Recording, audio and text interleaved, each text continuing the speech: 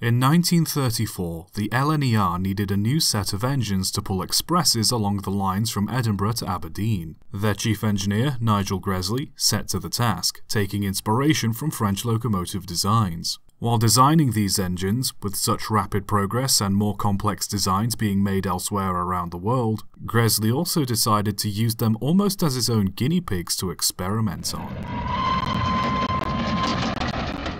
Dubbed the P2 class, the first of these engines to be built was number 2001 Cock of the North, which was striking for a number of reasons. Firstly, it was one of the few, if not the first, passenger locomotive in the UK to have eight driving wheels to help with traction on the many gradients of the line. It also featured a Lentz-type rotary cam poppet valve gear, a larger firebox than most of Gresley's other designs, the front was streamlined in a similar manner to the Hush Hush and was fitted with a V-shaped driver cab to help improve driver visibility. It also had a double chimney Kylchap exhaust, which was designed so it could take different fittings to allow for experimentation with exhaust arrangements. The second, number 2002 Earl Marischal, was completed a few months later, fitted with standard Walschaerts valve gear and had a bigger superheating area. It was also fitted with additional smoke deflectors. Earl Marischal was far more efficient than Cock o' the North due to its lower cylinder clearance and the various modification Cock o' the North cylinders had undertaken.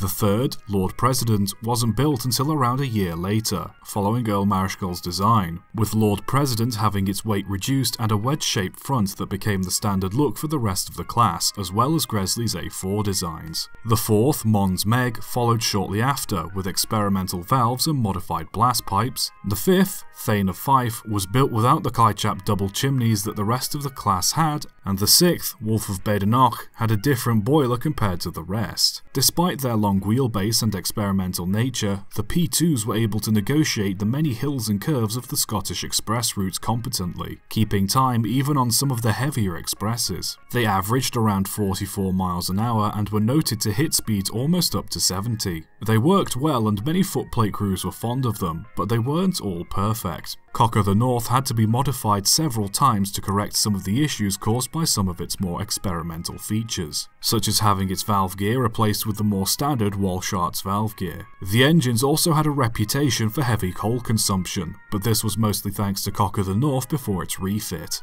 Their front crank axles were also prone to overheating and damaging themselves due to stress caused by faults with the front pony truck. It's also said that the engines could have performed better on different routes, and that running expresses between Edinburgh and Aberdeen was a waste of their potential. Despite all of that, the engines did serve a purpose elsewhere on the LNER. 2001 and 2002's experimental nature allowed Gresley to perfect various aspects of his locomotive designs, finding better configurations for chimneys, cab layouts and valve gear, which culminated shortly after in the creation of the A4s, Gresley's streamlined speed machines that went on to obtain the world record for the fastest steam-powered locomotive. The engines continued their work until 1943, when they were rebuilt one by one by order of Edward Thompson, the new chief engineer for the LNER after Gresley's death, and put to work on different parts of the line. Nobody is quite sure what sparked Thompson to do this. Some say it was jealousy of Gresley's designs, while others say it was simply due to the problems with the P2s in general. Whatever the reason, the P2s were refitted to follow a more uniform Pacific design.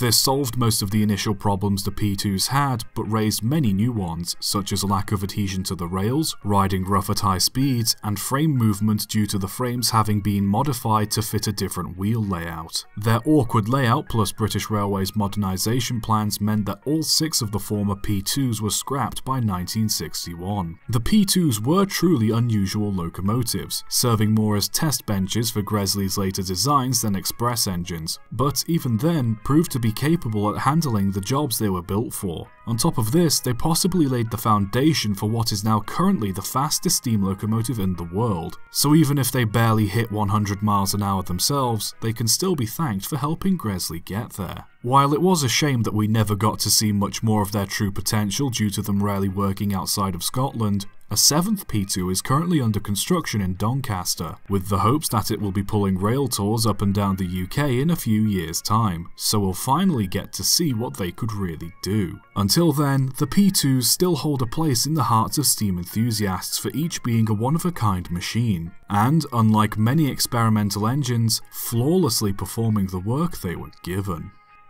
Subscribe for more.